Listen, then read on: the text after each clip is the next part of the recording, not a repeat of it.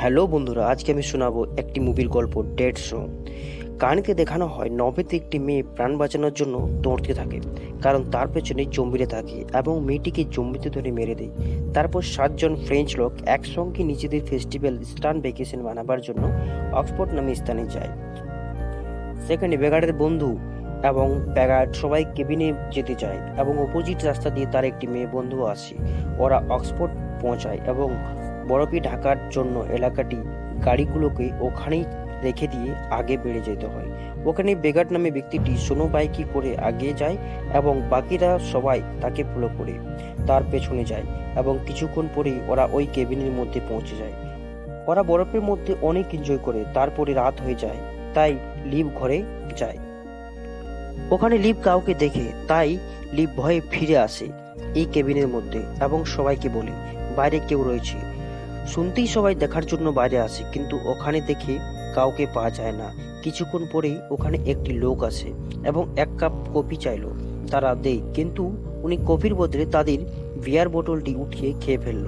এমন ব্যবহার যেমন উনি সবাইকে জানে।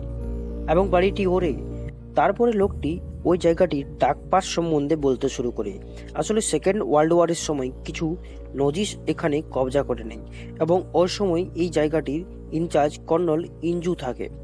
নজিসরা এখানেই তিন বছর অনেক অত্যাচার করে। তারপরে যখন ওরা বুঝতে পারল, তারপরে যখন বুঝতে পারল এবার হেরে যাবে, তখন তারা ওখান থেকে পালিয়ে যার জন্য ভাবলো। কিন্তু ওখানের লোক তাকে ধরে মেরে দেয় এবং বাকি সেনারা পালিয়ে যায়। তাদের ক্যাপ্টেন লোকেদের কাছ থেকে পালিয়ে যায়, কিন্তু ঠান্ডার কারণে সে মরে যায়। কিন্তু হয়তো এখনও এই জায়গার মধ্যে অনেক ইভিল পাওয়ার্স রয়েছে এবং আমি চাই ওখানে যেন কেউ না যায়। তখনই এটি শুনে সাতজনের মধ্যে রয় বলে, আমরা এই কথাগুলো মানি না এবং জানিও না এই ইভিল পাওয়ার থেকে কীভাবে বাঁচতে হয়। আমরা মেডিকেল স্টুডেন্ট শুনে লোকটি রেগে যায় এবং তাকে ধরে নেই এবং বলে, যখন তোমার পাকস্থলীটিকে বাইরে বার করে দেবে, তখন তুমি কি চিকিৎসা করবে? থাকবে তোমার কাছে কিছু চিকিৎসা করার মতন। সে সবাইকে ওয়ার্নিং দেয় এবং চলে যায় এবং কিছু দূর দূরে তার টেন্ট লাগায় এবং খাবার খায় তখনই সে একটি আওয়াজ শুনতে পায়। ও না জেনে, ও না জেনে ওটি দেখতে যায় এবং দেখে কিছু দূরে একটি জম্বি দাঁড়িয়ে রয়েছে। লোকটি ওই জম্বিটির থেকে কীভাবে বাঁচা যায় ভাবতে থাকে। তখনই আরেকটি আলাদা জম্বি এসে তার গলায় কামড়ে দেয়। ওখান থেকে প্রাণ বাঁচিয়ে সে তার টেন্টের মধ্যে যায়, কিন্তু একটি জম্বি এসে তাকে মেরে দেয়। এই ব্যক্তিটির কথায় বিগাট খুব প্রভাবিত হয় এবং সবাইকে বলে সে তার বান্ধবী সারাকে খুঁজতে যাবে। যদি কাল অবধি ও না আসে, সবাই গাড়ির কাছে যেয়ে সাহায্য নিতে পারে এবং তারপরে বিগাট ওখান থেকে চলে যায়। বিগাট চলে যেতেই সবাই এনজয় করতে শুরু করে। ব্রিগার্ডস খোঁজার জন্য যেতে থাকে এবং উনি ওই লোকটির টেন্টের কাছে যেয়ে পৌঁছায়। ওখানে ব্রিগার্ডস দেখে এই লোকটিকে যেন অনেক নির্মমভাবে হত্যা করে দেয়। সে ওখানে পায়ের ছাপও দেখতে পায় এবং অনেক রক্ত পড়ে থাকে। পায়ের ছাপটি কোথায় যায় সে দেখার জন্য পায়ের ছাপকে অনুসরণ করে আগে চলে যায়। যেতে যেতে তার পা একটি গর্তের মধ্যে ঢুকে যায় এবং একটি খালে পড়ে যায়। খালে পড়ে সে অজ্ঞান হয়ে যায়। এদিকে কেবিনে সবাই থাকে। ওদের একটি বাস্কার মধ্যে নজর পড়ে এবং সেটি ওরা খোলে এবং দেখে চমকে যায়। কারণ বাক্সের মধ্যে সোনা ছিল। তারা ভাবছিল, এখানে সোনা কথার থেকে এলো? এই নজিসরা সেটি হয়তো চুরি করে পালাচ্ছিল। ওখানে মুটিন বলে তোমরা হয়তো ভুল ভাবছ। তারপরে আর্নেল ঘরের মধ্যে যায় এবং তার পেছনে কিসরি যায়। ওখানে আনেল তো চলে আসে, কিন্তু কিসরি ওখানেই থেকে যায়। সেভাবে আনেল হয়তো তার সঙ্গে মজা করছে। তাকে লাগছিল হয়তো কেউ যেন তাকে দেখছে। এই ভাবতেই ছিল হঠাৎ একটি জম্বি তার উপরে অ্যাটাক করে দেয়। সে অনেক চিৎকার করে এবং নিজের কেবিনের দিকে দৌড়ে। কেবিনে যারা থাকে তারা অনেক লাউড মিউজিক শুনতে থাকে। তাই তারা ক্রিসের আওয়াজ শুনতে পায় না। কিন্তু হ্যানা শুনো নেই এবং মিউজিকটি বন্ধ করে বাইরে দেখার জন্য যায়। কিন্তু তার আগেই ক্রিসকে জম্বিতে ধরে নিয়ে চলে যায় এবং হ্যানা কিছু দেখতে পায় না। ওখানে হ্যানা বলে এখানে কিছু রয়েছে। তাই তারা তিনজন বন্ধুকে নিয়ে বাইরে আসে এবং ক্রিসকে খোঁজার জন্য ওরা চারজন মিলে ক্রিসকে খুঁজতে যায়, কিন্তু পায় না। তার বদলেই ব্যাগ পায়। সেটি সারাত থাকে এবং ওর কেবিন ওটাই থাকে। ওরা সবাই সতর্ক হয়ে যায় এই জায়গা থেকে। এখানে হঠাৎ হেনা খ্রিস্টকে দেখে, কিন্তু ধ্যান দিয়ে দেখার পরে উনি দেখে ওটি খ্রিস্টের শুধু মাথাটি থাকে। হেনা ও দেখে চিৎকার করে, তাই লিভ দেখার জন্য ওখানে চলে আসে। কিন্তু লিভ ওখানে কিছুই দেখতে পায় না। যখন লিভ বাইরে এসে দেখে, তখন একটি জম্বি তার মাথার চুলগুলিকে ধরে নেয় এবং সবাই তাকে ছাড়ানোর জন্য আসে এবং জম্বির থেকে বাঁচিয়েও নেই এবং দরজাটি বন্ধ করে দেয়। ওখানে জম্বির সংখ্যা এতগুলোই থাকে যে চারদিক থেকে তারাকে অ্যাটাক করে। ওখানে হেনা একটি জম্বির হাত কেটে দেয় তারা বুঝতে পারে এগুলি নজি জম্বি রয়েছে। আনেট অনেক ভয়ভীত হয়ে যায় এবং সবাইকে সতর্ক থাকতে বলে। তাতে জম্বি যেন কাউকে ক্ষতি না পৌঁছায়। আনেট মুভিজের কিছু ট্রিক্স বলে যেটিতে তাদের প্রাণ বাঁচাতে পারে। তখন একটি জম্বি আসে এবং তার মাথাটিকে ধরে নেয় এবং মাথাটি দু টুকরো করে দেয়। এদিকে দেখানো হয়, বেগার যে খালের মধ্যে পড়ে অজ্ঞান হয়ে গিয়েছিল, তার জ্ঞান ফিরে উনি উঠেছেন। তারপরে সে দেখে সে একটা গুহার মধ্যে রয়েছে। আর একটি কাঠ উঠায় এবং সেটার মধ্যে আগুন জ্বালায় এতক্ষণ বুঝতে পারে এটা আসলে একটা খুপিয়া রাস্তা থাকে, জিনিস থাকে। দেখে বোঝায় জার্মানদের, ওখানে অনেকগুলো হেলমেটও থাকে এবং হেলমেটের সঙ্গে তাদের মাথাগুলো। এটা বোঝায় যে সবাই মারা গেছে, তারপরে টানেল থেকে বেরিয়ে আসে। যখনই বাইরে আসে, তখনই একটি জম্বি তাকে ধরে নেয়। বেগার ওর মোকাবেলা করতে থাকে, তখন আরেকটি জম্বি মাটির নিচ থেকে বেরিয়ে আসে।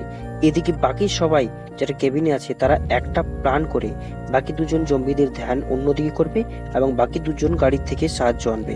এদিকে মটিন এবং রয় জম্বিদের ধ্যান অন্যদিকে করার চেষ্টা করছে। এদিকে হ্যানা এবং লিভ গাড়ির কাছে যাওয়ার জন্য ছুটে, কিন্তু তারা রাস্তা ভুলে যায় এবং ওখানে একটি জম্বি এসে যায়। এদিকে বেগার দুটি জম্বির সঙ্গে মোকাবিলা করতে থাকে এবং দুটি জম্বিকে মেরে ফেলে।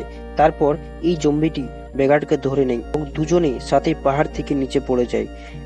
জম্বিটির কোমরে একটি দড়ি বাঁধা থাকে, যেটা ব্যাগার ধরে জম্বির সঙ্গে ঝুলতে থাকে। ওখানে জম্বিটি বেগারকে তার গলার মধ্যে কামড়ে দেয়। বেগার তবুও নিজের প্রাণ বাঁচায়। জম্বিটিকে মেরে নিচে ফেলে দেয় এবং উপরে আসার চেষ্টা করে। এদিকে হেনা লিভ জম্বির সঙ্গে মোকাবিলা করে। হেনা জম্বিকে মারতে থাকে, কিন্তু লিভ পারে না, তাই জম্বি তাকে ধরে মেরে দেয়। কিন্তু মরার সময় লিভ একটি ইলেকট্রিক স্টিক দিয়ে অনেক জম্বিকে মেরে দেয়। এটি জম্বির ক্যাপ্টেন দেখে এবং ওখানে চলে আসে। হ্যানা পাহাড়ের উপরে দাঁড়িয়েছিল ভাবছিল, হেল্প কোথা থেকে নেওয়া যায়? ওখানেরই বরফটিকে লাথি মেরে ভেঙে দেয়। যার জন্য হ্যানা এবং একটি জম্বি নিচে পড়ে যায়। ওরা বেঁচে যায় কিন্তু অজ্ঞান হয়ে যায়। যখন ও দেখে, তখন ও বরফের নিচে দাবিয়ে থাকে। ও চারদিকে দেখে, ওখানে ওই জম্বিটি দাপিয়ে থাকে এবং হেনা ওকে মেরে ফেলে। এদিকে বেকার তার কাটা গলাটি নিজেই একটু সেলাই করে নিজেই সোনোবাইকারের মধ্যে বন্দুক লাগিয়ে জম্বিকে মারার জন্য চলে যায়। এদিকে রয় এবং মর্টিন, যারা কেবিনের মধ্যে জম্বিদের সাথে লড়াই করছে, একটি বোতলের বোমাকে বাইরে ছুটতে যায়, কিন্তু ভুল করে ওটা কেবিনের মধ্যেই পড়ে যায় এবং কেবিনের মধ্যে আগুন লেগে যায়। আগুন থেকে বাঁচতে ওরা পাড়িয়ে একটি তীরে যায় ওখানে থেকে অনেক অস্ত্রশস্ত্র রয়েছে। ওরা ভাবে এগুলো দিয়ে তারা জম্বিকে মারবে। হঠাৎ ওখানে একটি জম্বির দল এসে যায়। ওরা এই অস্ত্রগুলিকে নিয়ে জম্বিকে মারতে শুরু করে। এরা অনেক জম্বিকে মারে এবং তারপরেই অনেক জম্বি চলে আসে। ঠিক এই সময় বেগার চলে আসে এবং বন্দুক দিয়ে জম্বিকে মারতে শুরু করে। জম্বি একসাথে বেগাটের উপর হামলা করে এবং তার হাত পা আলাদা করে দেয় এবং তাকে মেরে দেয়। এই সবগুলো তার দুটি বন্ধু দেখছিল। ওখানে মোটিন অনেক রেগে যায় এবং তারপরেই সে জম্বিকে মারতে শুরু করে। জম্বিকে মারতে মারতে হঠাৎ সামনে হেনা চলে আসে এবং মার্টিন না দেখে হেনার মাথায় কুড়ো ঢুকিয়ে দেয়। হেনা মরতে থাকে। মর্টিন এটা দেখে দুঃখী হয়ে যায়। কিন্তু এই সময় যে তাকে বাঁচতে হবে, সামনে একটি জম্বির দল থাকে। মর্টিন ওরাকে মারতে থাকে এবং এই জম্বির মধ্যে একটি জম্বি তার হাতের মধ্যে কামড়ায়। মর্টিন জম্বিটিকে মেরে দেয়। একটি ব্যক্তির কথা মনে করে এবং সে তার হাতটি কেটে দেয়। মর্টিন এটাতে খুশি হয়ে থাকে কি ও আর জম্বি হবে না। কিন্তু ঠিক হঠাৎ মাটির নিচে একটি জম্বি টেনে নেই এবং তাকে কামড়ায়। বেঁচে থাকে। ও হলো হর্য। এরা ভাবে, আমরা তাড়াতাড়ি হর্যকে মেরে এখান থেকে চলে যাব। কিন্তু ঠিক ওই সময় হর্য মুখে কিছু বলতে শুরু করে। তখন হঠাৎ মাটির নিচটা কাঁপতে শুরু করে এবং ধীরে ধীরে সব মরা জম্বিগুলো উঠতে শুরু করে। এরা যখন দেখে জম্বির দল আবার দাঁড়িয়ে গেল তখন এরা প্রাণ বাঁচানোর জন্য ওখান থেকে দৌড়তে শুরু করে। কিন্তু ওখানে হর্য দেখে তার পায়ের নিচে একটি হাতুড়ি থাকে। ওরা দৌড়াচ্ছে, কিন্তু রয়ের পা একটি কাঠের মধ্যে আটকে যায়। ওখানে হর্য চলে আসে এবং রয়ের বন্ধু রজাকে হাতুড়ি দিয়ে আঘাত করে। তখন উনি হরজককে মারতে থাকে। ওখানে একটি গাছ থাকে, একটি শাখা হরজকের পেটে চলে যায় এবং আঁতগুলো বেরিয়ে যায়।